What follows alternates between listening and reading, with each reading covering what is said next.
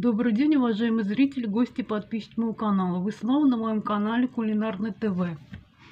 Я закрутила, засолила огурчик, соленый огурчик, добавила укроп, чеснок, хрен, лист смородины, соль. Закрутила также икру. Икра у меня баклажанная, морковка, помидор, баклажанный лук, перец, болгарский перец, чеснок.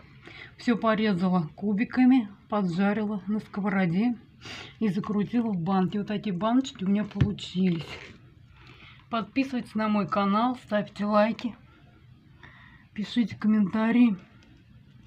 До скорой встречи в новом видео.